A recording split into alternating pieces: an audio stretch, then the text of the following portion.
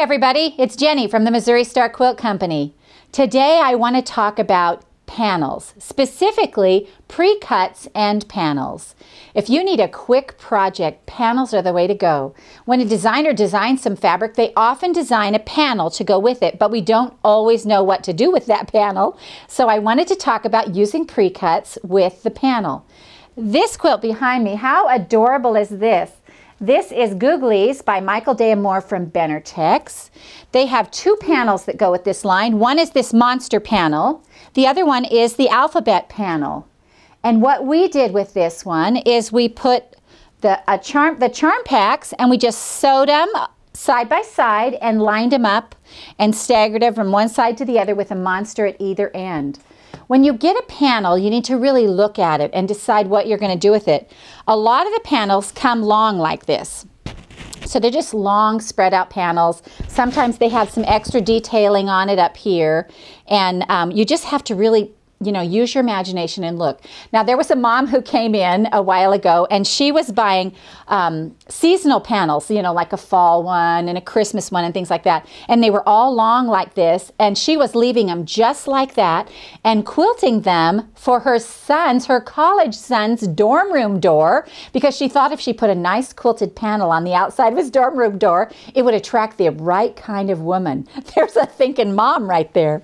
But anyway, when I look at a panel, I try try to decide what I want to do with it. With big squares like this, I would probably, you know, cut these apart, you know, border them, add some pre-cuts, take a jelly roll strip. You, you know, you can do so much with the pre-cuts. You could just sew the blocks together. You could use a jelly roll and sew, you know, the strips together. You could do the scrappy four patch. You can do all kinds of border things with these panels, but you just really have to use your imagination. So I want to show you some of these panels and how, um, how they work and how they come. Now, most of the panels will come on a bolt like this, and you'll buy a repeat. So it will go, you know, it'll go along so many, and then you'll see the same thing appear, and you'll buy that just that little section. It's really pretty reasonable when you start um, uh, taking, you know, looking at a panel because it's generally not an entire yard. So like this one, how cute would this be? And if I were using this panel, I would just put this right in the center of my quilt and use a pre-cut, maybe make a piano key border to go around the outside or something like that.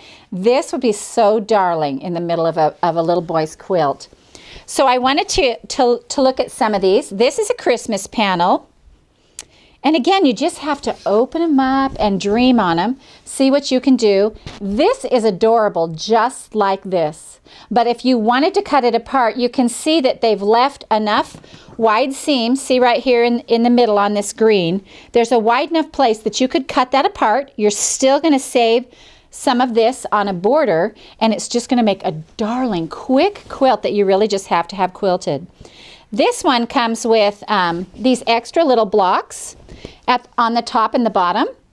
And what I did with this was I cut these all out and I made one where I had a piece of, you know, you, you can get all of these come with um, the fabric on bolts. You know, all these fabrics are on the in a available in a bolt. But what's fun about the pre-cuts is that when you use pre-cuts to do your borders, the pre-cuts are going to have each one of these individual fabrics you know, that they've used in the panel to put all around them. So it's, it's going to be all inclusive and great. So on this one, what I did was I cut these blocks apart and I put a border and a block and a border and a block, you know, and just used them, used my imagination. Um, I want to show you some of these. This one's a fun one we got uh, one year. This is a Halloween one. And I just want to show you a couple of things I did. This Halloween panel right here, this came with two panels and I cut them apart and boarded them separately. I put two little borders around it. I mean, just that quick and made a darling little wall hanging. This is the panel I just showed you right here.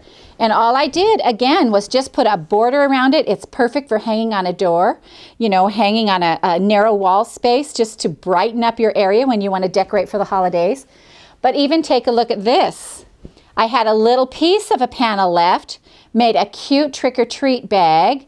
You know, you can do all kinds of things with these panels. So just take a look at your panel, let your imagination go, throw a pre-cut with it which uses all the colors, and you've got an instant project. We hope you enjoyed this quick tutorial from the Missouri Star Quilt Company.